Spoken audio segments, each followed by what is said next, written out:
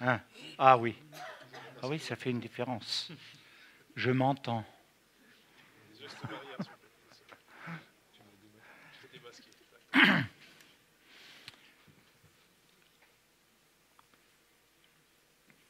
Nous, nous avons échappé par rapport au rassemblement du gouvernement, par rapport à l'état d'urgence sanitaire. Nous n'avons pas, pour nous, en tout cas dans l'immédiat, beaucoup de répercussions. Peut-être que ça viendra, il faudra que je suive. Mais pour l'instant, eh bien, nous restons un petit peu quand même dans les normes. Donc, ça va. Euh, juste avant de commencer, je voudrais vous donner deux, euh, deux informations. La première, l'opération de Marie-Françoise. Ah. C'est le seul privilège d'être là. C'est de respirer, de vivre un petit peu normalement. Mais bon, il faut y arriver là. Eh oui, c'est pénible ces trucs-là. Ah. ah. Marie-Françoise s'est donc fait opérer et on a une bonne nouvelle, c'est que tout s'est bien passé. Apparemment, euh, elle va assez rapidement se rétablir, d'après ce que j'ai compris.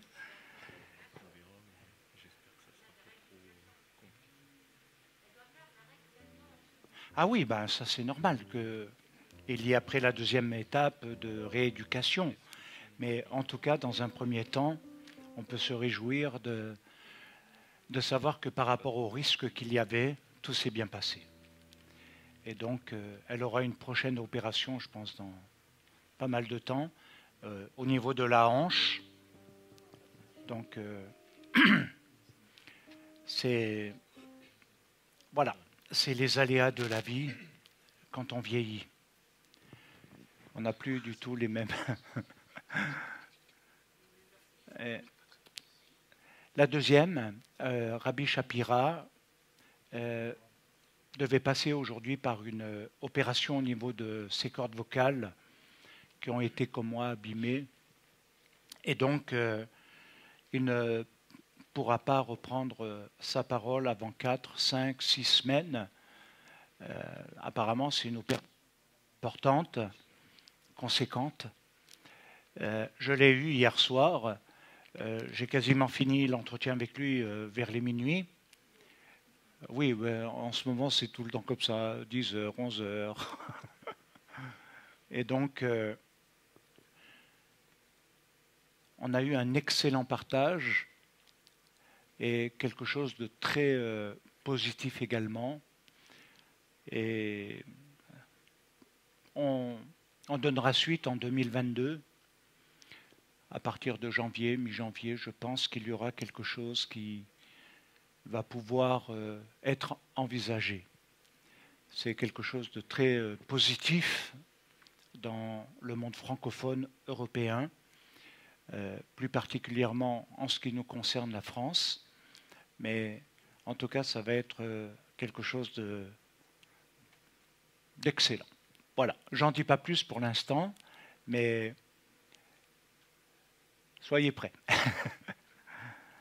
Voilà, je veux juste euh, remettre entre les mains de l'Éternel ce temps que nous voulons passer dans sa présence, ce temps d'amour et de relation avec toi, Seigneur, dans quelque chose qui est réel, qui n'est pas cérébral, qui n'est pas intellectuel, mais qui est l'expression de notre âme, l'expression de notre cœur et de notre amour pour ton nom, pour toi parce que tu es celui qui est. On veut glorifier ton saint nom, Yeshua Mashiach, et que tu mettes dans nos cœurs la musique, la musique qui vient d'en haut. Que tu fasses, Seigneur, monter vers toi un chant de louange et d'adoration qui reconnaît et glorifie ton nom que tu mettes notre âme et notre cœur à ton écoute, que nous soyons déconnectés de tout ce qui est autour de nous, de tout ce qui est à l'intérieur de nous, qui est venu nous encombrer, de ce qui peut nous voiler ta face. Merci Seigneur de rendre notre cœur libre, disponible à ton nom.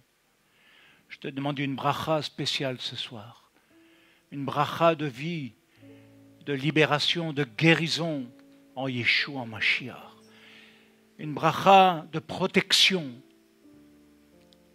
afin que nous soyons gardés de tout mal. Éternel, sois élevé au-dessus de tout nom. Par Yeshua Mashiach. Amen.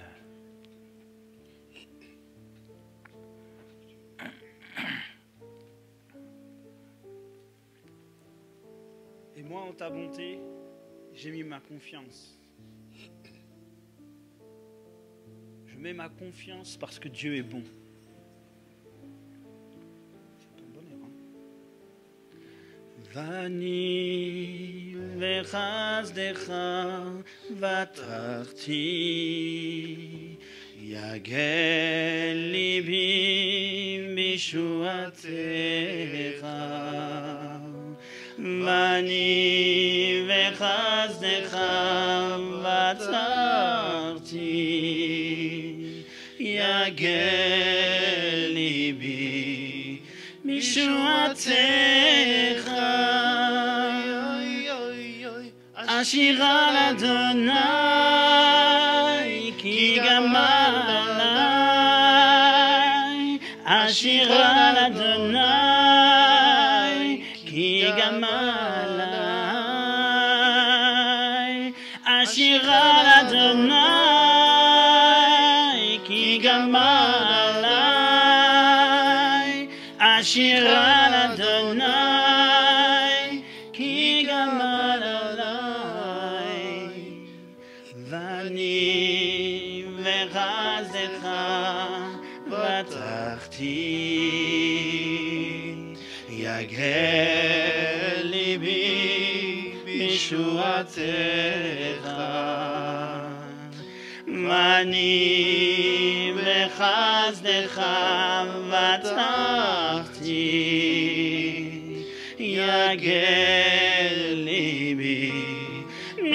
בישועתך. יא יא יא, השיר על אדוני, כי גמל עליי. השיר על אדוני, כי גמל עליי. השיר על אדוני, כי גמל עליי. השיר על אדוני, כי גמל עליי.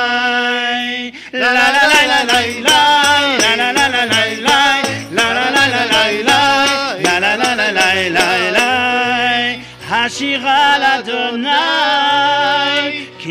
Amalalai, Ashiral Adonai, Kigamalai, Ashiral Adonai, Kigamalai, Ashiral Adonai, Kigamalai. Et moi, en ta bonté, je mets ma confiance Je lève mes yeux vers tes montagnes.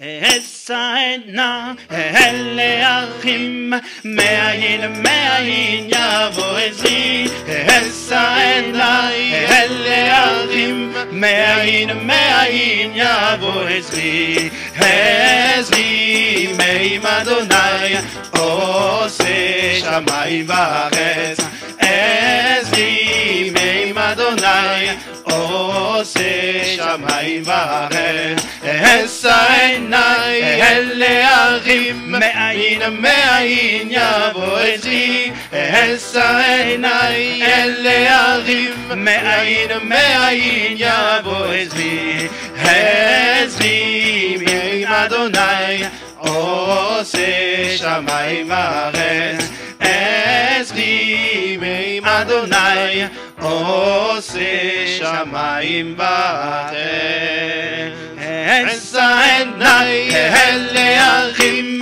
מאין מאין יבוא עזרי אעשה עיניי אל האחים מאין מאין יבוא עזרי עזרי ועם אדוני עושה שמיים בארץ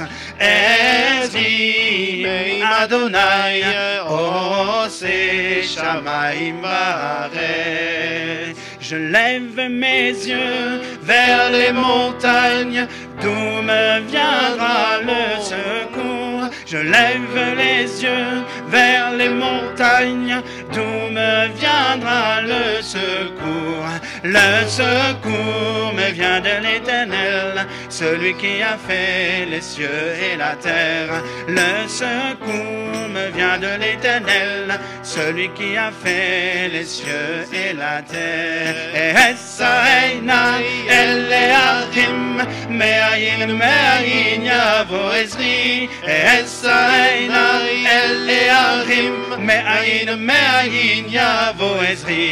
עזרי מרים אדוני, עושה שמיים וארץ. עזרי מרים אדוני, עושה שמיים וארץ.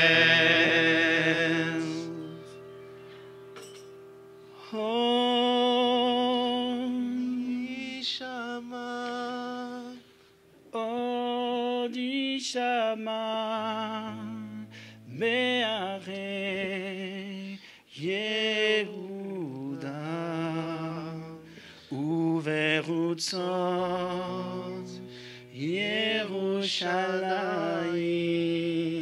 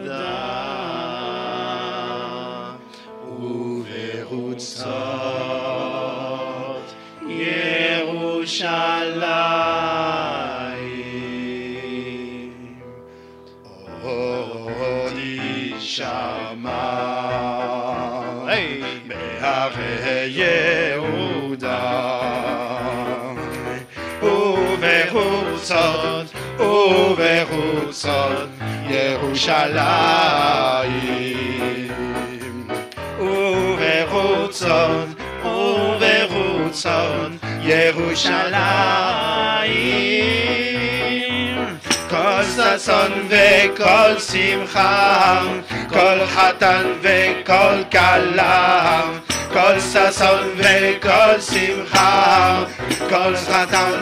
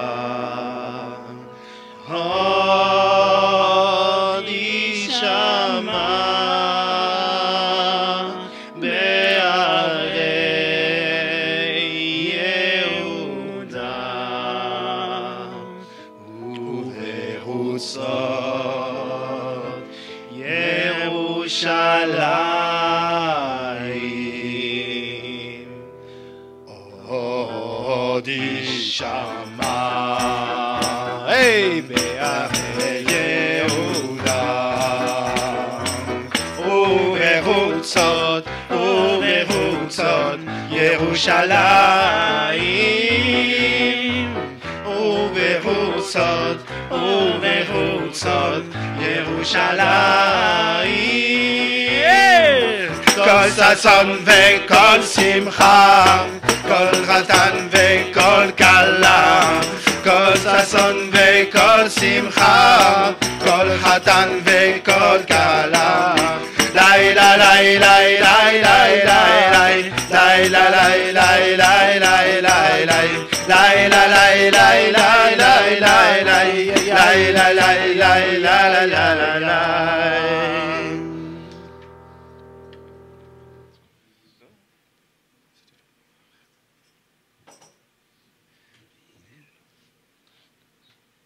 Allez, je crois qu'ils en veulent une dernière. Ineloyanu, Veloishan, Veloishan, Shomer Israël.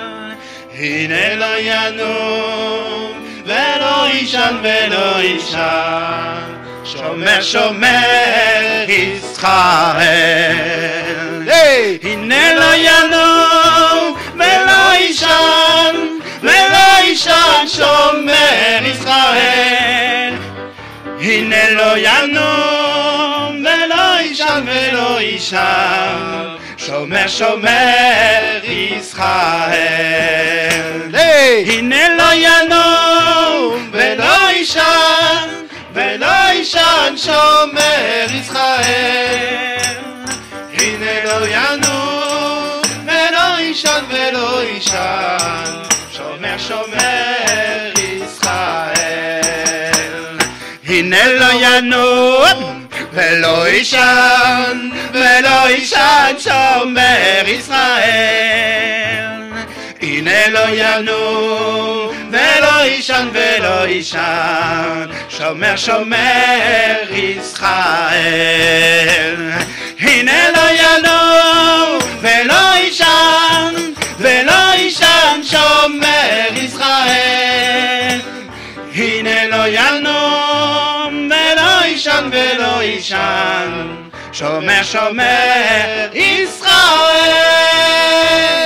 ליי ליי ליי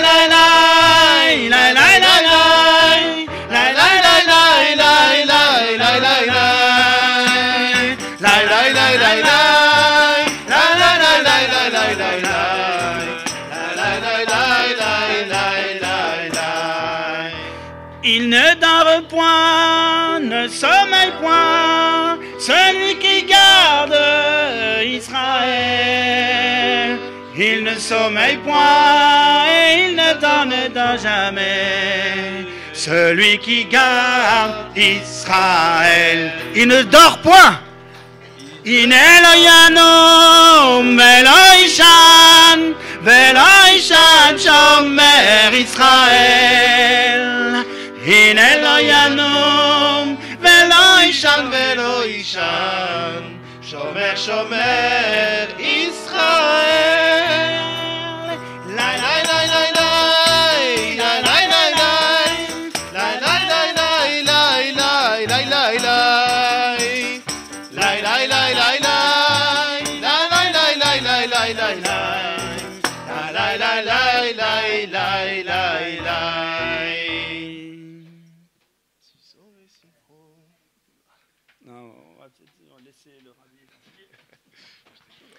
Amen. Comme il est dit, que ta louange, que tes chants soient sur ma bouche et que mes lèvres célèbrent ton nom.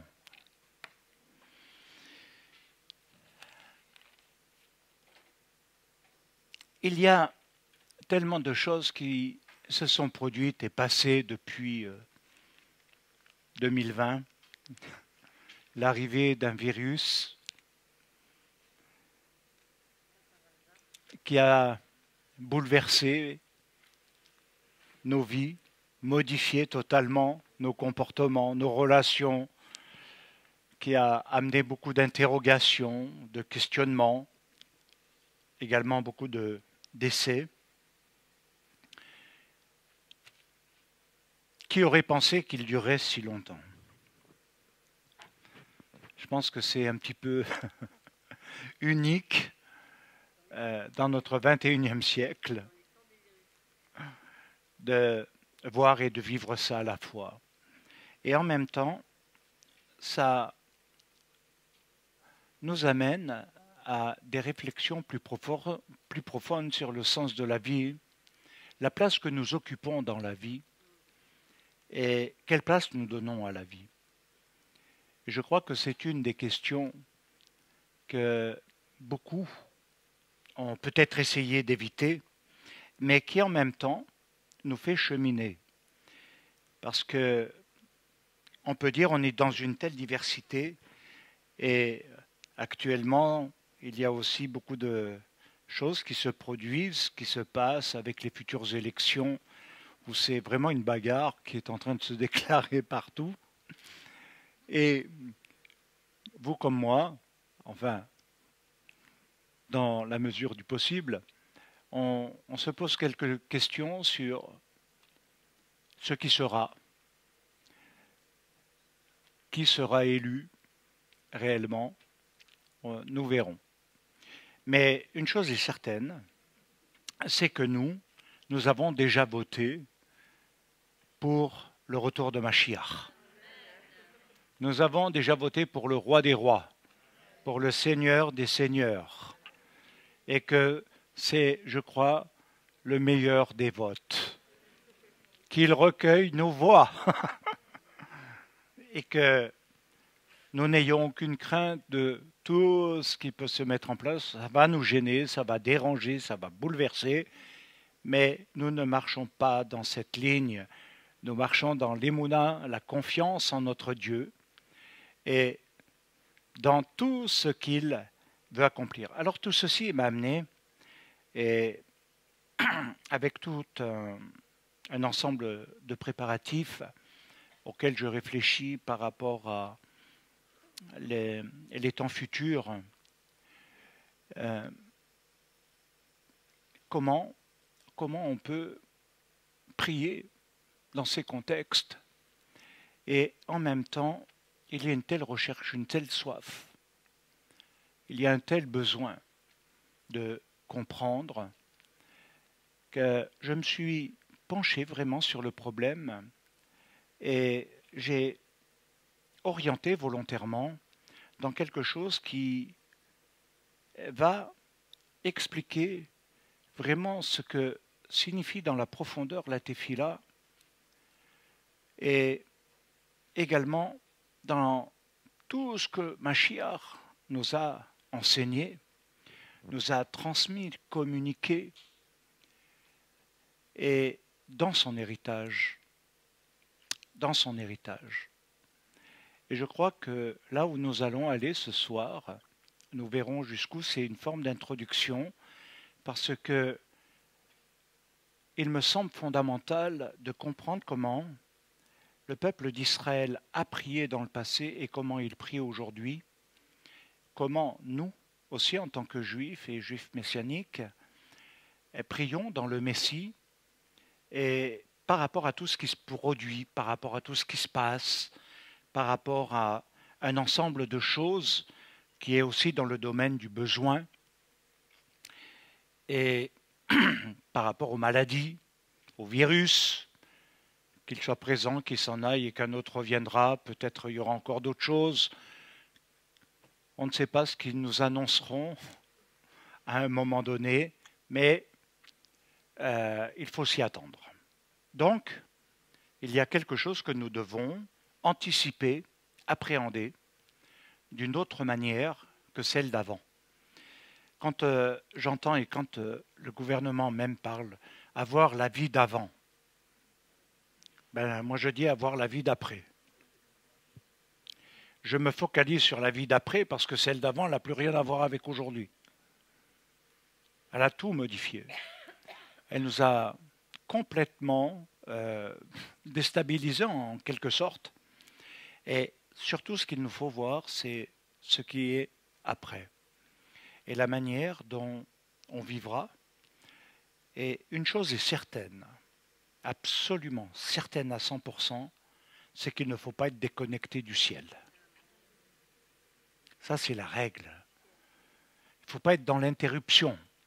Alors, je fais une forme d'introduction qui va peut-être un peu surprendre, mais je crois qu'il nous faut connaître aussi davantage dans les temps d'aujourd'hui pour demain ce qui a été oublié, voire mis de côté par rapport à l'identité juive du Messie, qui ressort très fortement dans ses enseignements, et que finalement, on a, je dirais, dans les nations, euh, un petit peu écarté, je ne dis pas obligatoirement volontairement, consciemment, mais il y a eu quand même quelque chose qui s'est transformé.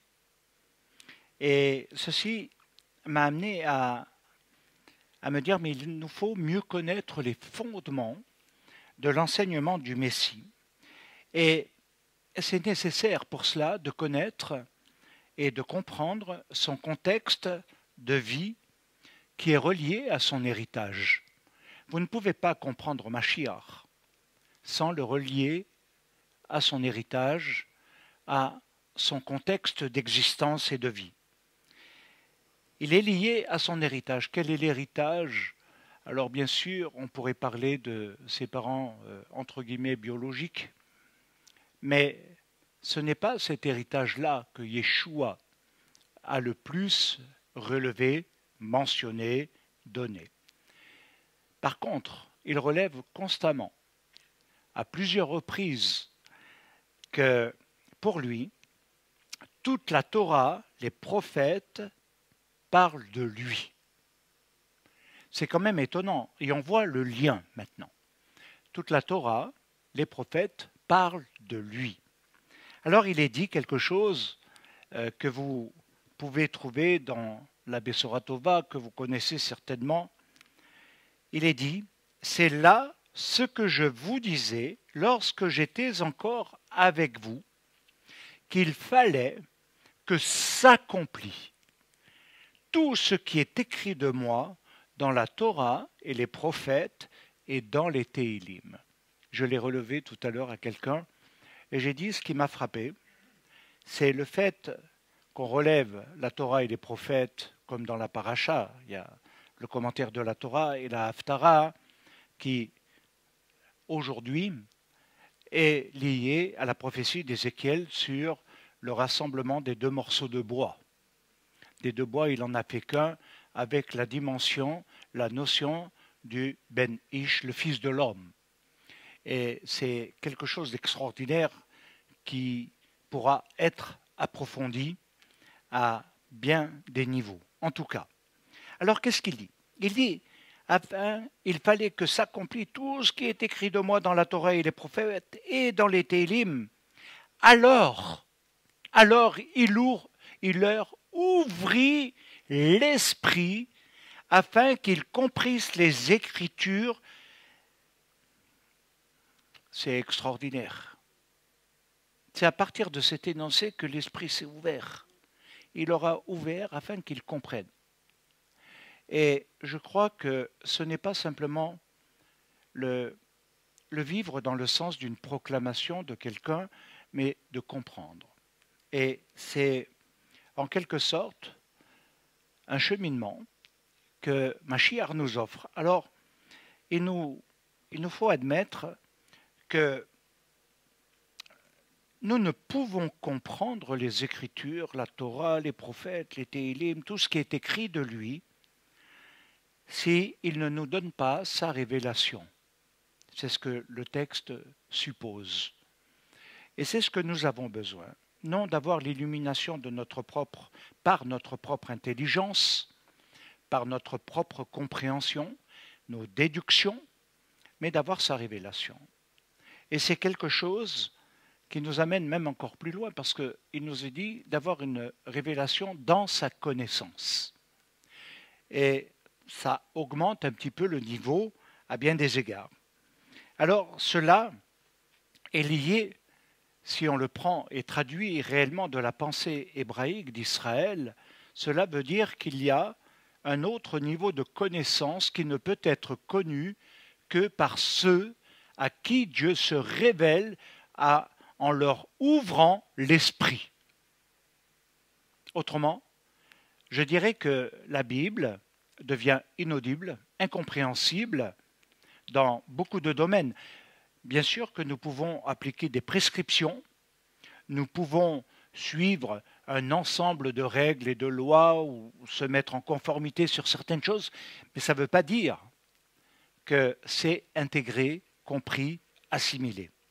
Donc, lié à une autre connaissance qui n'est pas la connaissance que nous avons acquise durant notre existence, depuis notre naissance, mais la connaissance de Dieu. Et la connaissance de Dieu, quand j'ai fait de la théologie, euh, c'est un vaste sujet. Et en fait, en définitive, à la fin, il y a un prof qui semblait dire, dans ce que j'ai compris, je peux me tromper, mais je, je doute un petit peu, il nous faisait comprendre qu'en fait, il n'y a aucune définition suffisamment forte pour amener la connaissance de Dieu, pour comprendre Dieu, connaître Dieu. Que finalement, nous le disons avec des mots faibles. Nos mots sont faibles. Et donc, entrer dans la connaissance de Dieu, c'est-à-dire que l'homme ne peut appréhender la connaissance par son seul savoir. Or, aujourd'hui, peu importe sur quoi on se base, qu'on écoute les médias, les journalistes, les uns, les autres, à droite, à gauche, on parle beaucoup par le savoir. Le savoir qui, en quelque sorte, s'est substitué à une vraie connaissance. Autrement dit, à une véritable expérience, à quelque chose qui est vécu. Alors on parle dans le savoir je sais ce que dit la Bible, je sais ce que dit Dieu, je sais, euh, etc. Mais il y a toutes sortes de savoirs dans lesquels on est pétri. Alors, ça nous amène à comprendre que le savoir est important, mais il n'est pas suffisant. Il n'est pas suffisant du tout. Et pourquoi? Parce qu'il y a quelque chose que le Messie relève dans le texte que nous avons lu, il dit, parce qu'il fallait que s'accomplisse tout, tout ce qui est écrit de moi. Parce qu'il fallait que s'accomplisse tout ce qui est écrit de moi. Et de là, Machiar ouvre l'esprit et leur explique tout. Et tout est changé. Et je crois que c'est l'expérimentation que nous devons faire dans notre vie, dans le quotidien, c'est ce cheminement. On peut partir de quelque chose qui est le savoir, mais ensuite d'entrer dans quelque chose qui est transformé et dont le savoir est faible devant sa connaissance, devant sa révélation. Alors il fallait que tout il fallait que s'accomplisse tout ce qui est écrit. Alors il ne s'agit pas ici d'interpréter ou de faire des commentaires, parce que beaucoup de gens pensent qu'il suffit de faire une exégèse, des commentaires, etc., pour avoir la compréhension, l'exactitude de ce que cela signifie, de la pensée, etc. Yeshua va beaucoup plus loin et de manière beaucoup plus élevée que cela. Il nous dit de comprendre ce qui s'accomplit. Alors, je me suis posé la question, comment comprendre ce qui s'accomplit ou ce qui s'accomplira? Parce que le terme euh, qui est euh, utilisé, enfin le verbe qui est utilisé, accomplir ici, a le sens non pas de quelque chose qui est fini, qui est terminé, qui est dans l'arrêt, qui voilà n'a pas de suite. Au contraire, le terme grec qui est utilisé dit dans quelque chose qui continuera encore jusqu'à la fin. Il y a deux termes, cléro et pléro. Et il signifie tout simplement, à un moment donné, effectivement, accompli dans le sens que ben, j'ai fait ma tâche, elle est accomplie, c'est fini, il n'y a plus rien d'autre. Voilà, ça c'est le premier sens qui est employé à plusieurs reprises dans la Bible. Mais il y a le terme pléro aussi qui nous amène à comprendre qu'il y a un autre sens de l'accomplissement, quelque chose qui est accompli mais qui n'est pas fini dans son accomplissement. Voilà. Et c'est là, c'est là le secret. Parce que notre savoir ne peut pas aller jusque dans cette dimension, même par rapport à tout ce qui doit arriver à la fin des temps. La preuve, quand le virus est arrivé, eh bien, euh, il y en a beaucoup qui ont été dans la surprise de ce qui se passait, de la virulence, du bouleversement que cela a produit. C'est vrai, il a surpris. Et pourtant, nous lisons que les épidémies seront, que les pandémies seront, et qu'elles entraîneront toutes sortes d'autres fléaux. Vous voyez, le savoir, c'est on sait, mais l'autre dimension nous démontre que malheureusement, on est dans l'effet de surprise quand ça se produit. Et c'est là qu'il nous faut euh, quand même réaliser que ce n'est pas le fait d'avoir le commentaire le plus juste qui va devenir la vérité ultime, quelque chose que l'on ne peut contester, mais de comprendre ce qui s'accomplit en lui et par lui. Alors, dans le Tanar, de toute façon, le Mashiach, Yeshua, nous a aussi transmis un héritage qui éclaire au travers de son enseignement. Alors qu'est-ce que je veux dire par là? Et c'est là où vous allez être un petit peu dérouté. Et j'ai voulu vous dérouter, pour vous sortir de la routine, de l'habitude d'anticiper déjà ce que je vais dire. Pourquoi? Bien, c'est très rabbinique. Et par moments, il nous faut être dérouté pour retrouver la route. Parce qu'autrement, quand on suit la route comme un mouton, il n'y a même plus d'écoute. Il n'y a même plus de curiosité. Il n'y a même plus, quelque part, je dirais même d'intérêt. Donc, dans mes formations, ça a toujours été ça. Il faut que tu sois dérouté à ne plus comprendre quoi que ce soit pour chercher à comprendre le vrai sens des choses. Et si on veut l'interpréter correctement, cela veut dire il faut que tu chemines, que tu perdes, que tu perdes le sens de tes orientations pour être réorienté. Et ça, c'est une pensée très profonde dans le monde juif, parce qu'elle nous amène à, réaliser que finalement c'est lui qui guide, mais que on peut très bien s'habituer à quelque chose. Vous savez, L'avant-Covid, tout le monde vivait, faisait son petit chemin, organisait ses petites fêtes, ses petits trucs, et ceci et cela. Puis aujourd'hui, on nous prive de tout, surtout les non-vaccinés.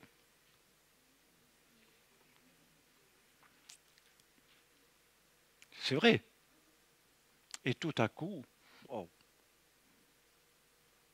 dans quel monde on vit? Alors, là où vous allez être dérouté, c'est que le terme tout dans la bouche de Mashiach veut dire également les, profondeurs d'un ensemble de choses, de tout ce qui est dans la Torah, de tout ce qui est dans les prophètes et dans les Télim. Et ça m'a beaucoup frappé, les Télim.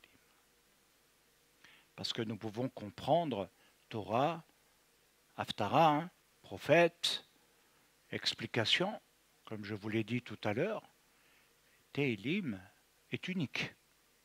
Les psaumes. Les psaumes. Et il est très précis à ce niveau-là. Alors quand il est dit tout, Yeshua Mashiach se réfère bien entendu à certains événements. Ça c'est un fait. Mais il dit qu'il a aussi enseigné au travers de cela pour savoir comment, je vais vous le formuler ainsi, pour savoir comment appréhender les événements du futur ou les choses qui arrivent et qui vont arriver. C'est-à-dire qu'il y a ce qui se passe dans le présent et ce qui sera dans le futur. Et c'est un enjeu. Ce qui est dans le passé, on le connaît. On n'a pas besoin d'y revenir, on peut l'interpréter, etc. Mais il est présent à la mémoire. Il est existant.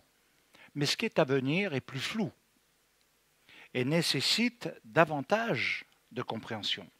Alors, qu'est-ce qu'il nous dit? Il nous dit, dans ce tout, que, bien sûr, mais il inclut, il inclut la tefila. Et la tefila faisait partie intégrante de son existence et de sa vie. Et on connaît très très mal le Yeshua, le juif qui prie. Parce qu'on lui a enlevé son identité juive de la prière. Et là, c'est clair que, même pour ceux qui nous écoutent, c'est peut-être un bouleversement d'entendre ça. Mais d'entendre Yeshua nous démontrer qu'il ne prie pas comme les autres prient, mais qu'il prie dans son identité de juif, lié à Israël, dans son héritage. Alors quand il dit aussi de, dans la Torah, la Haftara, il est clair que c'est un ensemble. Alors, il a enseigné à plusieurs reprises la tefila. Mais quels sont ses fondements pour enseigner la tefila? Simplement quelques phrases que l'on peut prendre à droite et à gauche dans les évangiles, la bonne nouvelle. Eh bien, je dirais que c'est amputer ce qu'il a dit, le retrécir, le réduire, parce que c'est quelque chose qui y a véritablement à une grande profondeur. Et il nous amène maintenant à nous dire que dans ce qui s'accomplit, c'est de ne pas être déconnecté. Le principe clé de la tefila, dans la pensée juive, c'est la connexion à Dieu c'est d'être dans le coucher connecté à Dieu, dans le lever connecté à Dieu, dans la journée connecté à Dieu, dans le soir connecté à Dieu et dans le coucher encore connecté à Dieu. Et ceci sept jours sur sept. Et c'est pourquoi c'est un cycle ininterrompu. Celui qui vit dans ce cycle va recevoir obligatoirement la, compréhension, la révélation sur un ensemble de choses. Et quand il va prier, il sait pourquoi il va prier. Il sait comment il va prier. Et en même temps, il verra les événements et il pourra les appréhender. Je crois que, comme je l'ai dit tout à l'heure, l'effet de surprise a déstabilisé tous les systèmes, même sur le plan mondial du reste, parce que personne ne s'attendait à une si forte pandémie internationale Personne. Et personne n'a trouvé encore le moyen de le soigner. Oui, euh, il y a un vaccin, paraît-il. Mais en, fait, il ne guérit pas, le, le vaccin. Il faut bien comprendre qu'il ne guérit pas.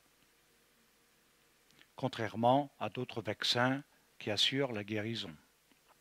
Et ce n'est pas d'être contre un vaccin ou quoi que ce soit, ou pour ou contre. Je veux dire, c'est l'avis, l'opinion de chacun selon sa conscience. C'est à chacun de voir et de comprendre ce qui se fait. Et on remarque que tout à coup apparaît un, Omicron où on nous dit qu'il risque de contourner tous les, euh, tous les espoirs que l'homme a mis dans la protection dans ce monde, qui risque de lui être enlevé. Il y a une réflexion. Il y a une réflexion. Et derrière, ça nous amène justement à vouloir aller plus loin. Parce que le fait d'être dans le cycle divin fait que nous allons marcher sur une voie parallèle à celle que le monde annonce à celle que le monde vit, à celle que le monde même sur le plan politique, est en train de mettre en place dans ces systèmes. Nous marchons dans la direction de, de Malchut, nous marchons dans la direction du royaume de Dieu. Nous sommes connectés au Malchut, à Elohim, au royaume divin. Nous ne sommes pas connectés à, à, être sur euh, euh, Twitter là, de M. Macron ou de M. Zemmour ou de M. Euh, je ne sais plus qui c'est qui encore. ah oui, Pécresse. Et puis tout ça.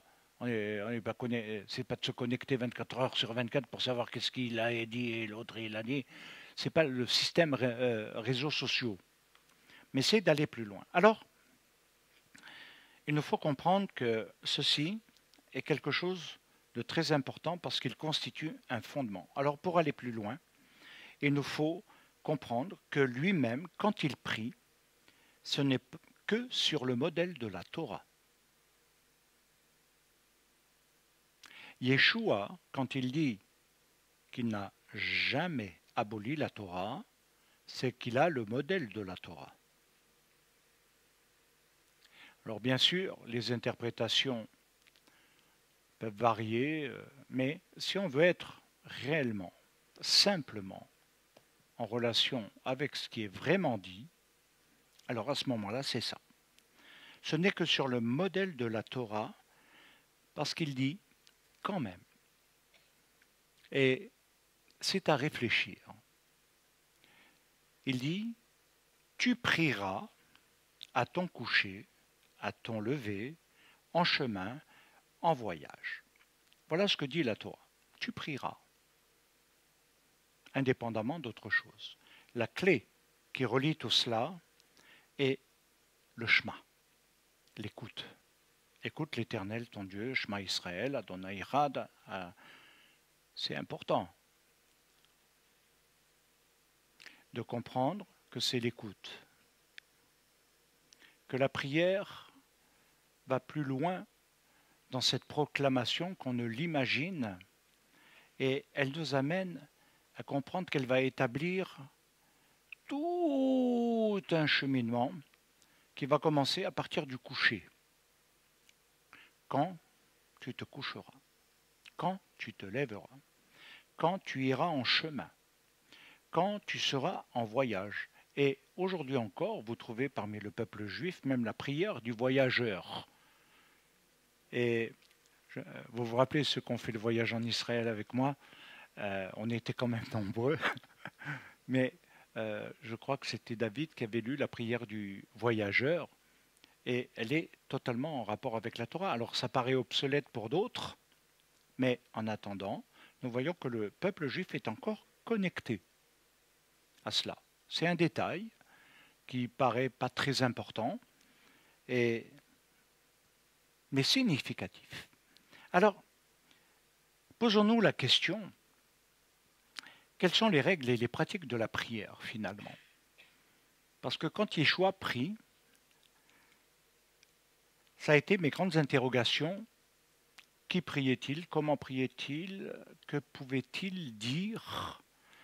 C'était ma curiosité euh, qui me poussait à ces questions.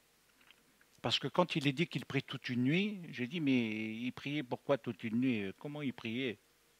Avait-il besoin de prier de toute façon? Avait-il besoin réellement? Quand tu te coucheras, quand tu te lèveras. Et ça m'a interpellé.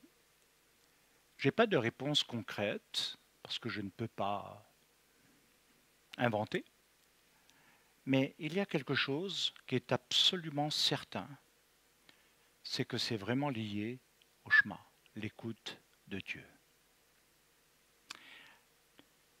Nous avons vu et étudié la dernière fois, enfin l'avant-dernière fois, le vêtement de prière, le talit, dans une assez bonne profondeur. On peut aller beaucoup plus loin avec les taves, les lettres taves, des titiotes qui se retrouvent dans les quatre franges, dans les quatre bords, et qui désignent également les quatre orientations des quatre mondes et euh, des dimensions spirituelles.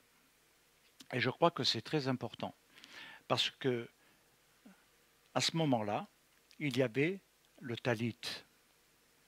Et pour vous dire que Yeshua, obligatoirement, quand il se réfère à un ensemble de choses, eh bien, il avait le talit. On l'oublie. C'est ce que je vous disais, c'est quelque chose que l'on a amputé à l'identité juive du Messie dans sa vie, dans euh, son existence parmi le peuple d'Israël, sur la terre d'Israël. Et donc, découvrir que Yeshua avec les tzitziot, comme je vous l'ai dit, la femme a été guérie en touchant les tzitziot, et que ce n'est pas le seul cas, mais également quand il fait euh, les, les brachot, que ce soit à Shabbat, ou que ce soit à la synagogue, ou que ce soit pour bénir même les enfants, eh bien, il avait les talites.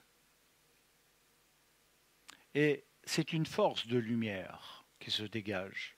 Alors, on l'a étudié, je ne vais pas trop y revenir, mais c'est quelque chose qui nous interroge quand même.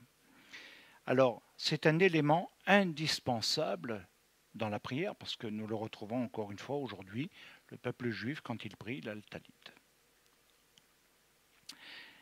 Alors, ce qui est dommage, c'est que cela n'a plus été enseigné dès les premiers siècles, et tout s'est écarté, tout s'est dissocié. Et on a trouvé des autres formes, des nouvelles normes, on a établi des nouveaux principes euh, que l'on retrouve encore dans l'Église catholique, que l'on retrouve dans les églises orthodoxes, pour les plus anciennes, les maronites, qui sont encore calés sur ces modèles qui sont très différents, euh, même s'il y a des rapprochements avec le peuple juif. Mais il faut savoir qu'à cause des ruptures dans les premiers siècles, eh bien, ça a complètement modifié le rapport de l'homme avec Dieu dans le concept, dans la pratique et dans le vécu. Alors, Yeshua nous dit bien, dans ce cadre-là, tout ce qui le concernait, tout, tout ce qui le concernait. Alors, nous avons le talit, et maintenant entrons dans un truc encore plus polémique. Quand je vous ai dit que j'allais vous dérouter, c'est vraiment vous dérouter. C'est je vous fais peur ou vous êtes sérieux?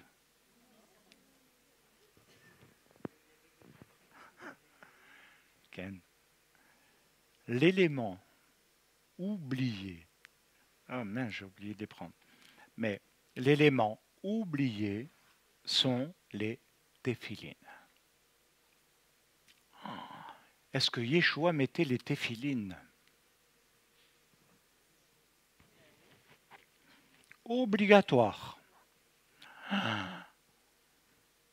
Alors, quand on nous dit, et j'aime bien euh, un petit peu provoquer, quand on nous dit vous êtes sous la loi, je dis oui, sous la loi du Messie. Ni plus ni moins. Je suis sous et dans la loi de Machiach. Lui-même ne l'a jamais rejeté, ne l'a jamais contesté, ne l'a jamais aboli, ne l'a jamais annulé, n'a jamais dit qu'il y avait une autre façon de prier que celle de la Torah.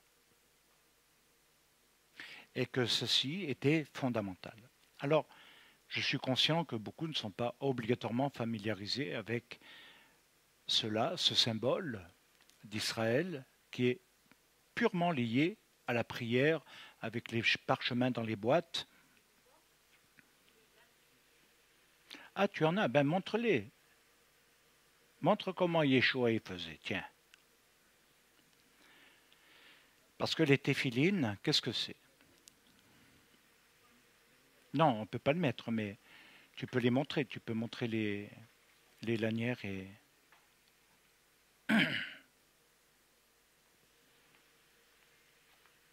voilà. Téphilines. bien sûr, ça fait, je pense, dans la sensation, quelque chose qui surprend. Hein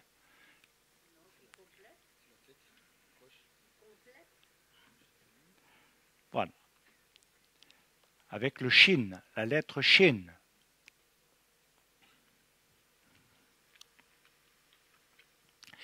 Et ce sont donc deux boîtiers avec des sangles placés sur la tête et les bras. Vous trouverez le passage dans Deutéronome chapitre 6 verset 8 qui dit, et écoutez bien le principe, le fait d'avoir amputé en a oublié le sens, la signification, la profondeur au-delà de l'élément. L'élément est simplement la visualisation de quelque chose qui doit être vu à l'intérieur de soi, dans quelque chose qui doit nous amener dans la relation avec Dieu, mais également de savoir comment on se connecte à lui. Et c'est quelque chose de très important parce que là, on va aborder quelques points qui sont euh, fantastiques. Il nous est dit dans Dvarim 6.8, tu les liras, tu les liras comme un signe, comme un signe, hôte, hôte. C'est le même terme qui est utilisé lorsqu'il est parlé de Ésaïe 7.14, le signe, hôte, de, Alma, de Alma, pas Betula, pas Nara, Alma. Parce qu'il y a trois termes qui désignent le, le mot vierge. Alma est le vrai terme qui est utilisé pour Isaïe 7, 14. Et c'est ce qui démontre une gloire de Dieu. Tu les liras comme un signe sur tes mains, et ils seront comme des frontons, euh, frontaux entre tes yeux. Qu'est-ce que cela signifie? Cela signifie que les téphilines constituent un lien avec Dieu. Qu'est-ce que ça veut dire un lien avec Dieu dans la pensée d'Israël, dans la pensée juive, dans la Torah, dans euh, même l'enseignement de Mashiach? Il veut dire quand l'homme rencontre Dieu, Dieu rencontre l'homme. Et le fait de lier, quand on, fait la bracha, eh bien, c'est tout un symbole, c'est-à-dire que à ce moment-là, on est conscient que l'on va prier Dieu et qu'on va le rencontrer et que Dieu va nous rencontrer. Ce n'est pas un parcours à mi-chemin de l'un et de l'autre, c'est véritablement une fusion. Qu'est-ce qui amène cette fusion? Qu'est-ce qui amène finalement cette réaction? Eh bien, c'est tout simplement, si on veut aller dans la profondeur, l'homme qui croit en Dieu, en sa souveraineté, en tout ce qu'il est et par rapport à tous les événements qui seront à venir, qui met sa confiance en lui, alors son émouna, sa foi, et c'est toutes les bases de l'enseignement de Yeshua à Mashiach, de dire si vous aviez confiance comme un grain de sénévé, vous diriez, ou alors vous prieriez, et vous verriez. Voilà ce qu'il dit. Et derrière, il nous est justement l'émouna, la foi, la foi qui se lie à Dieu, c'est-à-dire qui s'attache dans une confiance à Dieu pour toutes ses voies. L'homme qui ne fait pas confiance n'est pas attaché. Il n'a pas d'attachement. Ah, vous comprenez le sens? L'homme peut prier sans être attaché à Dieu. Et Dieu ne s'attache pas à cet homme. Et c'est ce qui donne le relief, parce qu'il nous est dit justement, si on se pose la question pourquoi? Ben Parce qu'il est dit, placez, et là on va plus loin, placez ces paroles sur, sur votre cœur et votre âme. Liez-les comme un signe, les hôtes. Hôtes, comme je vous l'ai dit, ce qui signifie qu'il ne s'agit pas seulement d'un symbole, que ce n'est pas simplement quelque chose de matériel purement, un accompagnement pour stimuler, mais il révèle une incroyable profondeur de notre foi en Dieu et de notre lien d'amour. Notre lien d'amour. Qu'est-ce qui nous lie? À Dieu dans un lien d'amour. Si on veut réfléchir, on aura du mal à donner peut-être des réponses ou alors elles seront très, très varié.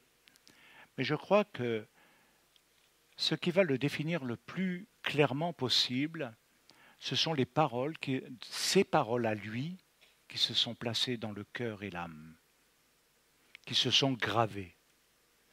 Quelque chose qui ne s'enlève pas, indélébile si vous préférez. Et je crois que si on réalise le lien d'amour, vous pouvez prier sans amour. Vous pouvez prier Dieu uniquement parce que vous avez des besoins, parce que vous êtes triste, parce que ceci et cela, mais ça ne marque pas le lien d'amour. Ça ne montre pas l'attachement à Dieu. Ça, ça peut être un cri de détresse que Dieu peut entendre. Ça peut être tellement de choses que Dieu ne va pas obligatoirement rejeter. Mais ça ne veut pas dire qu'on est lié à lui par amour dans ce moment-là être lié dans l'amour de Dieu, vous l'entendrez tout à l'heure, ça va beaucoup plus loin. Ce qui nous lie dans l'amour de Dieu est qu'il ne se défait pas. Si on veut pousser un peu la pensée d'Israël à ce niveau-là, c'est ce qui lie la dimension même physique, le monde physique, à ce monde spirituel. Nous passons du physique au spirituel. Nous passons par un, changement, une transition de notre situation, de notre existence, de notre vie, de notre attachement à ce monde, à cet univers, et nous nous attachons à celui de Dieu. Et nous basculons. Et c'est tout un exercice qui est fait derrière. Alors, si on veut donner l'élément clé, c'est ce qui relie le haut et le bas. En fait, la tefila, dans ce sens-là, nous fait comprendre que c'est un lien qui se crée entre le haut et le bas, et non comme il a été euh, fait à la création, par exemple, ce qui a séparé le haut et le bas. Vous savez qu'on a beaucoup parlé sur euh, la notion de rataf, le péché, où euh, beaucoup de choses ont été dites, mais en fait, la, séparation qui s'est faite à cause de la touma, de la faute, elle a, elle a séparé le monde d'en haut et le monde d'en bas dans la relation de l'homme avec Dieu. Adam a été séparé. À partir du moment où il y a eu la faute, Adam ne pouvait plus prier, ni voir Dieu, et Dieu va poser la question, sans que j'entre dans tous les détails qui sont magnifiques, Adam, où es-tu? Il n'était plus visible. Et c'est ce sens-là qu'il nous faut redécouvrir dans la Tefila, c'est que Dieu nous retrouve. Et nous sommes retrouvés. Nous ne sommes plus dans la séparation, nous ne sommes plus dans l'inconnu, nous ne sommes plus dans même l'exil spirituel, nous sommes dans quelque chose de, de profond. Alors, il faut savoir que le mot mitzvah, qui fait tellement couler d'encre, commandement, qui nécessite bien entendu l'adhésion et l'obéissance, a la même racine que le mot lien. C'est-à-dire que là, on entre dans la profondeur du secret, c'est-à-dire que la tefila, elle nous amène à l'action. La tefila, elle nous amène à une action mais pas une action pour soi, égoïste, qui nous donnerait satisfaction et nous mène à l'action dans le malchoute, à établir le malchoute, la connaissance de Dieu dans le monde, et d'amener la, la, révélation divine, et de manifester son amour, sa bonté, sa recède, autrement dit, et d'amener réellement sa connaissance. Et je dirais que Ceci nous amène à quelque chose à comprendre. C'est que le mot mitzvah, qui a la même racine que le mot lien. En fait, on va lier ce qui va être pratiqué, ce qui va être vécu parce qu'on a gravé les paroles de Dieu en soi, par rapport à quelque chose qui exprime cette relation, ce lien d'amour avec Dieu qui va se traduire dans du concret.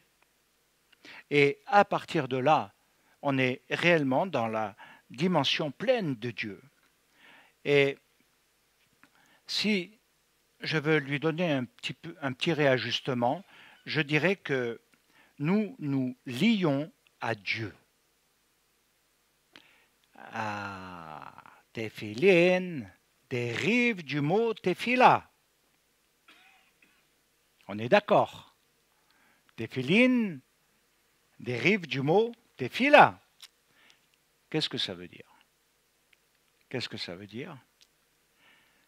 C'est la soumission à la volonté divine, la soumission à la volonté de Dieu. Quand je prie, que j'accepte que je suis dans tout ce que nous venons de partager, alors je me soumets par amour, pas par obligation, pas parce que j'ai été dans le forcing, comme le gouvernement voudrait faire plier les genoux à tout le monde aujourd'hui. Euh, ok, mais Dieu ne fait pas de forcing. C'est pour ça qu'il y a l'amour. C'est pour ça qu'il y a une dimension d'amour très importante. Pourquoi? Parce que la soumission à la volonté de Dieu est la seule garantie et la seule chose qui nous libère de l'esclavage spirituel, mental, affectif, physique. Nous ne sommes plus liés par tout ce qui affecte le monde matériel, dans tout ce qui peut créer des tristesses de mort, des états de survie, de non-vie, de non-existence, de perte de joie, de euh, tristesse continuelle, on pourrait même dire, de quelque chose où on a l'impression qu'on subit et il n'y a rien. Mais celui qui est lié à Dieu, il est simra, il est joie celui qui est lié à Dieu dans les mounas et qui lui fait confiance, eh bien, il n'est pas dans la tristesse de ce monde qui est en train de, dépérir, où, nous voyons qu'il cherche par tous les moyens euh, par tous les moyens euh, de s'évader, d'entrer dans le monde de l'évasion. Euh, voilà, et on va fermer les discothèques maintenant, c'est terrible. Quatre semaines. ok, derrière il y a du business. Ok, mais vous, comprenez que le monde a besoin, euh, ce monde-là, vivre dans la dimension de ce monde, même pour un croyant, c'est vivre dans les besoins euh, qu'a ce monde, les mêmes besoins. Et celui qui vit justement dans la soumission à Dieu, il n'est plus dans le même besoin. Et il n'est plus dans ce monde de l'évasion, de l'illusion. Il est dans quelque chose qui devient concret. Alors, ça libère de l'esclavage spirituel, comme je l'ai dit, parce qu'on est attaché à Dieu et à la parole de Dieu, qui est indissociable. Indissociable. C'est pourquoi il y a des versets qui sont gravés et qui sont euh, véritablement significatifs. En même temps, ça nous amène à comprendre dans les paroles de Shaoul de Tars que si on veut le traduire, c'est dompter son âme animale. Quand est-ce que j'obéis à Dieu? C'est quand je capitule. Quand je capitule mon moi devant lui, c'est quand je renonce à moi devant lui, c'est quand j'accepte sa volonté sur moi, eh bien, ça change tout. Et je crois que c'est très important, parce qu'autrement, nous n'avons pas l'âme de la résurrection, l'âme de l'homme nouveau. Nous ne sommes pas les personnes qui sont véritablement sorties de l'esclavage peut-être, mais pas libérées de l'esclavage.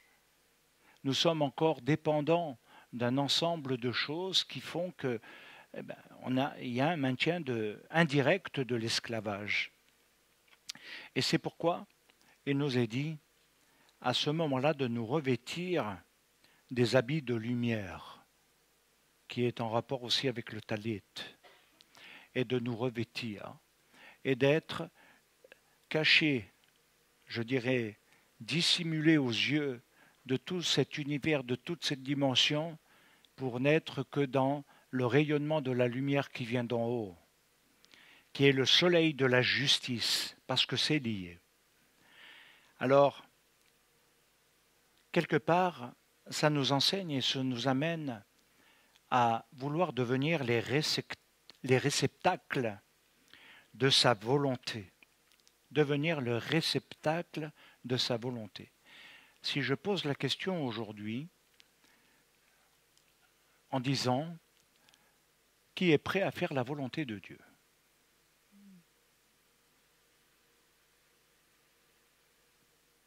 Je pense que dans un premier élan, sans réflexion profonde, eh bien, euh, tout le monde dirait moi, moi, moi, moi, moi. Mais, mais, qu'est-ce que ça signifie? Est-ce que tu accepterais même ce que Yeshua a accepté jusqu'à Golgotha pour accomplir la volonté de Dieu? Et je reviens au terme accomplir. Et c'est là peut-être la confusion, c'est que il ne s'agit pas d'inventer des directions, mais il s'agit de faire et d'amener ce que Dieu veut. Amener la volonté de Dieu, ce n'est pas simplement quelque chose qui est personnel, individuel, mais qui va beaucoup plus loin. Donc devenir un réceptacle, c'est vraiment devenir quelqu'un qui est libéré des liens de la mort. Parce que quand on s'attache à Dieu, on se délie de tout ce qui nous amène à la mort, à la destruction, à l'anéantissement dans notre vie, dans notre existence, parce qu'on dit bien, on a la mort dans l'âme. Et Dieu donne la vie. Et vous comprenez que tout se bouleverse, s'inverse en nous à partir de ce moment-là et que nous vivons quelque chose de très fort. Beaucoup de gens disent Oui, j'ai l'esprit de. Qu'est-ce que tu as Eh bien, attache-toi donc à Dieu. Et les liens de la mort, regardez même dans les Téhilim, les liens de la mort m'avaient environné. Il ne dit pas qu'ils étaient en lui. Pourtant, c'était une situation grave là que David, le roi, relève. Il dit non, les liens m'avaient environné, c'est-à-dire ils me tenaient dans un périmètre de non-vie, et ils m'empêchaient d'exprimer et d'accomplir et de faire ta volonté. Les liens de la mort m'avaient environné, une bande de scélérats rôde autour de moi. Et imaginez que le roi David, à ce moment-là, dit Je capitule devant eux, ce que beaucoup font spirituellement parlant. Il aurait capitulé, il n'y aurait pas eu de suite. Faire la volonté de Dieu, c'est justement dépasser ce cap. Mais les liens de la mort m'avaient environné. Quand je passe la vallée de l'ombre de la mort, je ne crains aucun mal. Et ça, c'est ce qui manifeste cet attachement à Dieu, parce que ça nous détache de ces liens de la mort qui sont qui se font par étapes progressives dans notre existence. Ça nous détache également de tout ce qui pourrait être lié à des malédictions parce que Dieu ne fait que bénir. Et vous comprenez que nous sommes dans le processus qui inverse les concepts de l'homme aujourd'hui qui sont persuadés que de toute façon il n'y a pas de solution pour eux, il n'y a pas de, euh, de, de, route, il n'y a pas d'avenir, il n'y a rien, et que de toute façon rien changera. Ça c'est la mentalité des désespérés liés par la mort. Mais si on est dans l'esprit de vie et de résurrection, alors à ce moment-là, dans cet attachement à Dieu qui va venir du cœur et qui accepte la soumission à Dieu, tout s'inverse. Et je dirais que c'est le secret le plus merveilleux qui soit pour comprendre et connaître une vraie délivrance. Alors en même temps, il nous est dit que les téphilines sont placées sur le bras, c'est-à-dire aussi sur le cœur et la tête, entre les deux yeux. Et il nous faut comprendre, et c'est là que finalement on a un éclairage nouveau par le Gaon de Vilna, qui nous donne une explication très intéressante. Et je dirais que elle est géniale. Il faut quatre compartiments qui marquent les quatre coins de l'univers, enfin, voilà. Quatre compartiments sur la tête. Parce que le cerveau, et il faut comprendre pourquoi on le met sur la tête, là, là, plus haut, le niveau le plus haut, le plus élevé, plus élevé que notre pensée, plus élevé que tout ce qui nous régit, alors Comprenons. Parce que le cerveau abrite quatre des cinq sens.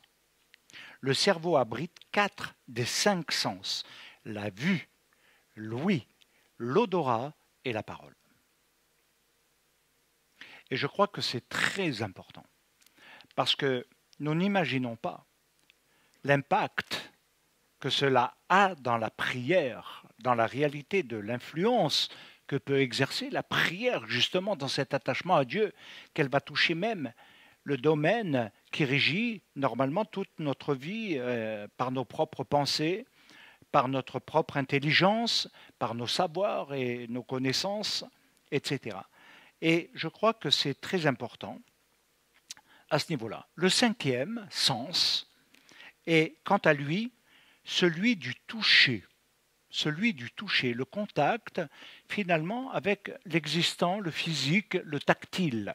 On, dirait comme ça aujourd'hui, hein, on dit comme ça, hein, tactile. Hein. Je suis tactile, ça veut dire il faut que je te touche là, que je te touche là. Et des fois, il y en a, ils se rapprochent trop.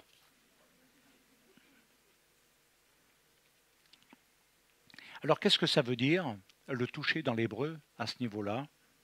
Ça a le sens de saisir avec sa main. Et vous comprenez, la prière, la tefila de cette femme atteinte d'une perte de sang depuis 12 ans, qui prie et qui dit si je peux toucher le bord de son vêtement, c'est-à-dire le tzitzit, le talit. Ça nous amène à l'autre dimension qui relie le cœur. Et c'est je dirais, le, deuxième niveau dans la tefila qui va se révéler, c'est que le cœur va marquer la sensibilité. La sensibilité.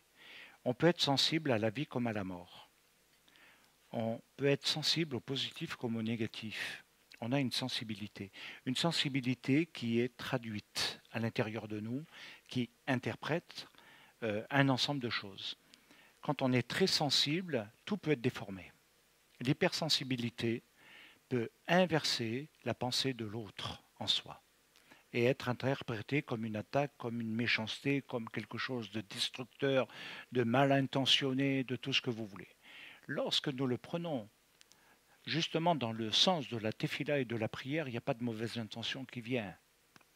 Au contraire, c'est une sensibilité à la présence, à la voix de l'Éternel qui est palpable en quelque sorte.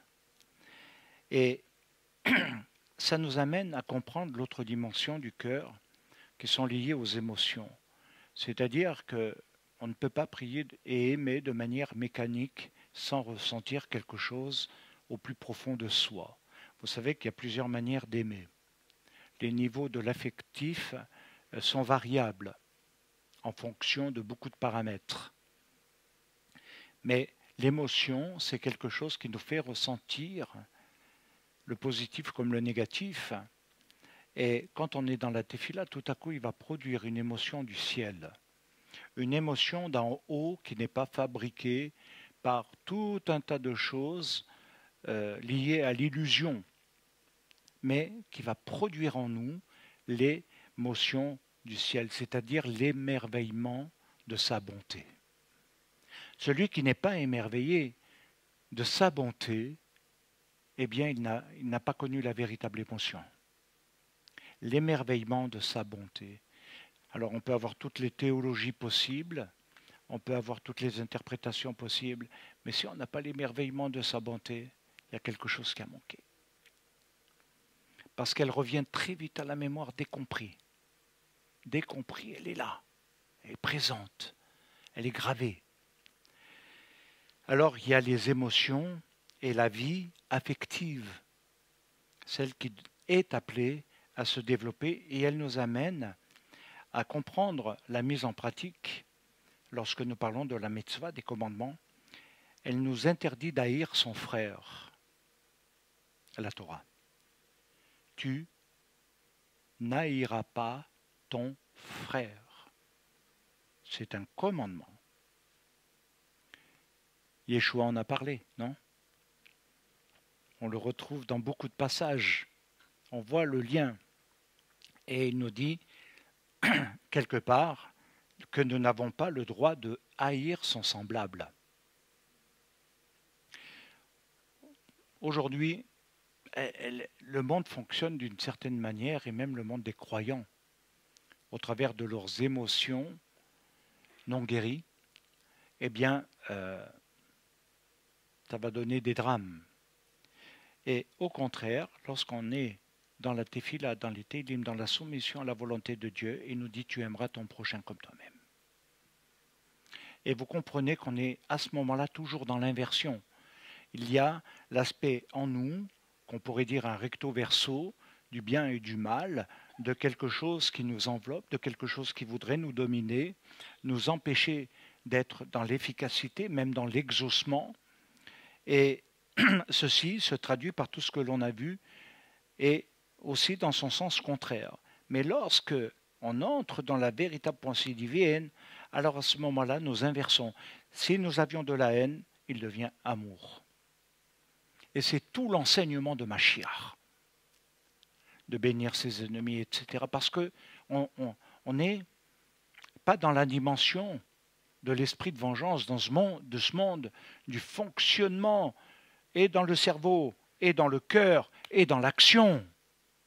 Mais on est dans l'émotion du ciel. On est dans la soumission à la volonté de Dieu. Et à ce moment-là, il y a quelque chose d'extraordinaire. Alors les deux boîtes, il nous faut aussi les comprendre comme étant les deux lieux d'habitation. Ce sont deux maisons habitées par les parchemins et qui nous amènent à comprendre quelque chose de très important sur le plan symbolique. Les maisons, elles signifient que Dieu règne sur le cœur et la pensée. Quand Dieu règne sur le cœur et la pensée, le mal n'habite pas. Voilà ce qu'il est dit. Il est dit que justement, nous sommes marqués par les paroles de Dieu qui nous empêchent d'être entraînés dans ce qui fait le mal et qui est l'élément de destruction, alors que Dieu veut que nous soyons les ouvriers de la vie des artisans de paix, comme disait Saint François d'Assise. Eh bien, les deux maisons sont aussi le symbole de ce qui unit les deux lieux qui sont quand même séparés par le cou, mais qui sont reliés par le fait qu'il y a une relation au travers de quoi?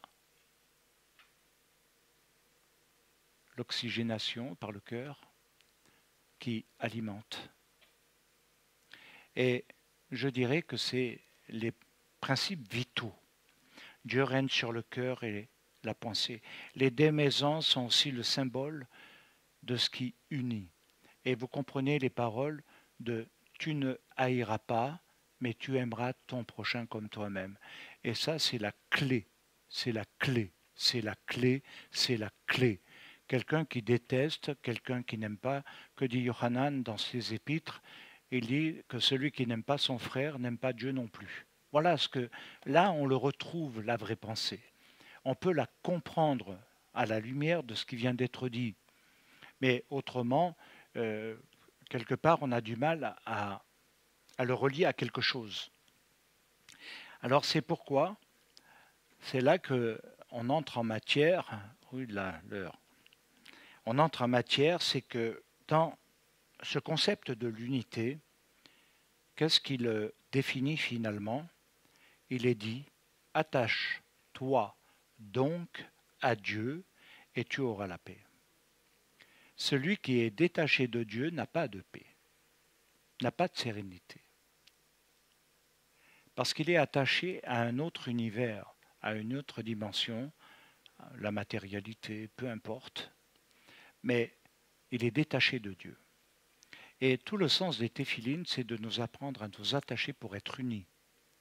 Parce que le lien, c'est ce qui unit et qui donne une fusion en quelque sorte à ce niveau-là. Il nous est dit, attache-toi donc à Dieu et tu auras la paix. Est-ce tout? C'est alors que tu jouiras aussi du bonheur, reçois de sa bouche l'instruction, le cerveau, la tête reçoit.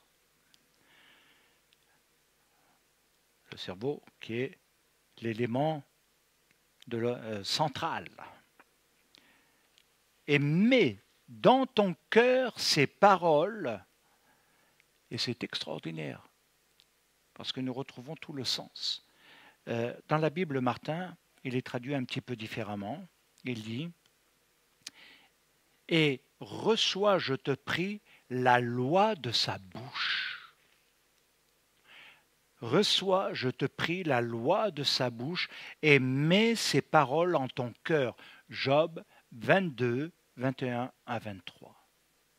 Alors bien sûr que c'est un exercice. C'est pour ça qu'il y a le geste qui accompagne parce qu'on sait très bien que ce n'est pas automatique en nous. Ce n'est pas automatique. Ce n'est pas par manque de bonne volonté, de désir, de vouloir même plaire à Dieu. Mais nous sommes en contradiction avec nous-mêmes, euh, en fonction de nos états, peu importe lesquels. Et je crois que ça nous, euh, ça nous fausse, honnêtement. Si on lit dans le livre de Job, là tout à l'heure je l'ai lu comme ça, mais là on va lire les livres des Job, au chapitre 23, et je pense que je serai obligé d'arrêter. Chapitre 23, hein, qui est très important en tout cas. euh,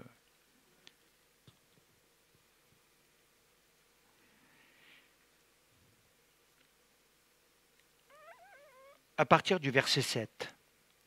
Ce n'est pas celui qui nous intéresse, mais c'est d'avoir le contexte.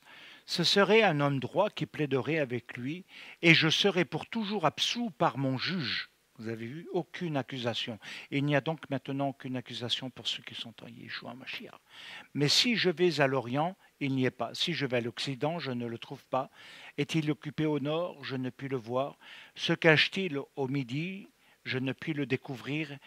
Il sait néanmoins quelle voie j'ai suivie. Et s'il m'éprouvait, je sortirais pur comme l'or. Mon pied, mon pied s'est attaché à ses pas. J'ai gardé sa voie et je ne m'en suis point détourné. Verset 12 qui marque Je n'ai pas abandonné les commandements de ses lèvres. Je n'ai pas abandonné les commandements de ses lèvres. J'ai fait plier ma volonté aux paroles de sa bouche. Alors c'est bien beau quand j'ai entendu dans le passé, quand j'entends de temps en temps, oui, la Bible dit, oui, oui, la Bible elle dit, elle dit beaucoup de choses. Même les témoins de Jéhovah, ils ont pris la Bible, les Mormons, ils ont pris la Bible, et tout le monde y prend la Bible. Mais là, il y a, il y a une dimension extraordinaire. Il dit, ah, je ne peux pas m'empêcher de les relire. Je n'ai pas abandonné les commandements de ses lèvres. J'ai fait plier ma volonté aux paroles de sa bouche. Et vous voulez le secret?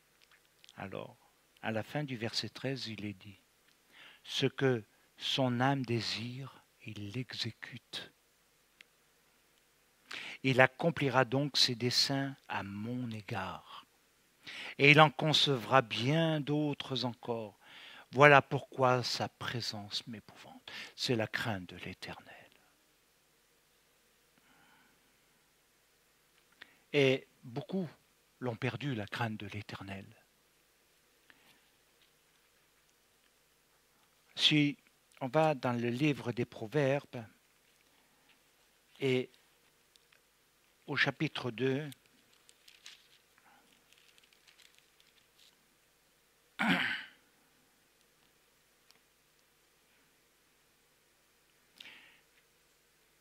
c'est des passages que j'aime beaucoup, qui ont fondé mon cœur dans mes débuts.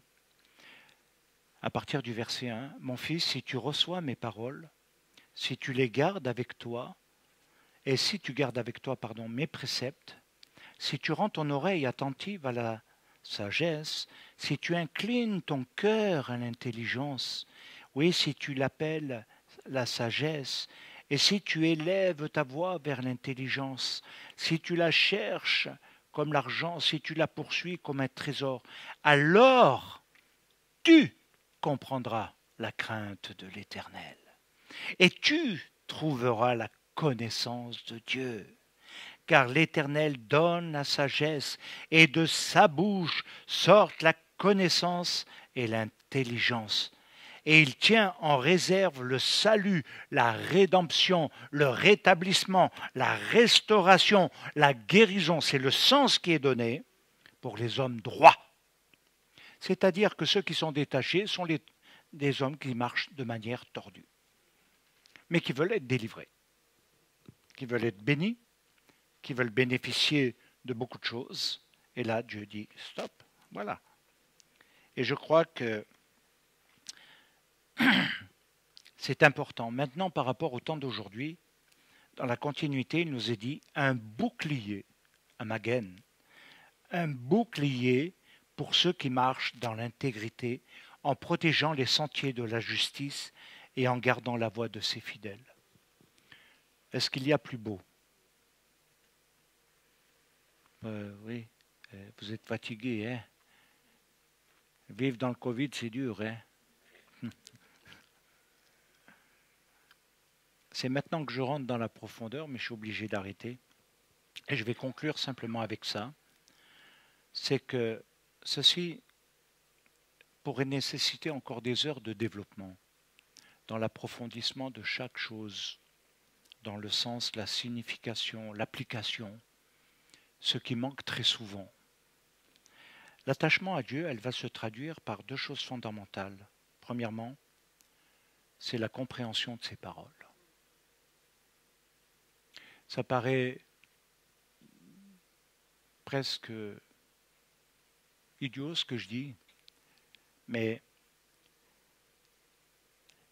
l'attachement de ses paroles, de ses lèvres, c'est quelque chose de très important. Être attaché à ce que Dieu a dit et non ce qu'un tel dit, non ce que l'autre dit, non ce que mon oreille entend. Me rappeler les cinq sens, c'est que tout ça fait un tout après, à un moment donné, et ça va donner le ressenti, l'émotion qui peut rendre malade, ou délivrer, ou guérir. Il y a plus de guérison aujourd'hui par le fait de comprendre le rétablissement, la restauration dans ses fonctionnements, de comprendre le lien dans tout ce qui est relié psychologiquement et ce qui est relié au niveau de la vie affective. Et quand les choses remettent leur vie en règle, en ordre et rétablissent les fonctionnements d'en haut dans celui d'en bas, ils guérissent. Alors, il nous est dit ces paroles, ce qui vient d'en haut et qui n'est pas de ce monde, qui ne donne pas de faux espoirs, qui ne ment pas, qui ne triche pas, qui ne dupe pas l'autre. Le deuxième, il veut dire tout simplement dans cet attachement que cet attachement nous appelle à nous séparer, à nous détacher, comme je vous l'ai dit, du mal. Ce qui veut dire concrètement, logiquement, dans le lien qui le relie totalement, c'est celui de savoir sortir, préparer sa sortie d'Égypte. Sortir de l'Égypte veut dire quelque chose de très important, parce que ça veut dire vivre en libre, en homme libre. Mais comment je gère la liberté? Qu'est-ce que la liberté? Et finalement, la liberté à laquelle nous tenons tous, et notamment qui est très chère à la France, puisque c'est l'un des premiers mots de notre République française, liberté, l'égalité, passons, fraternité, au, vu du nombre de morts euh, par euh, les armes à feu, les féminicides et tout ça, on y repassera fraternité.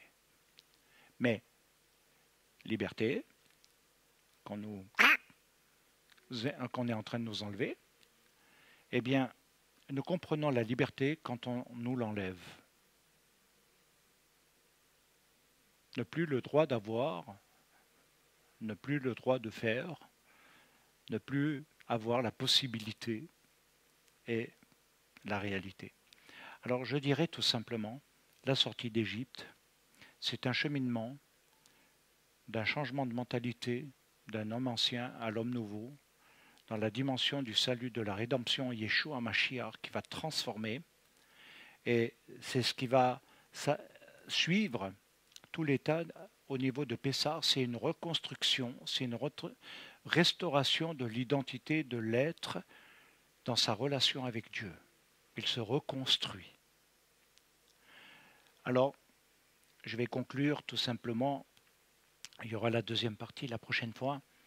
C'est pourquoi Yeshua disait Mes paroles, mes instructions, autrement dit, sont esprit et vie. Que l'Éternel vous bénisse, que l'Éternel vous garde, que l'Éternel vous raccompagne et que vous puissiez cheminer en approfondissant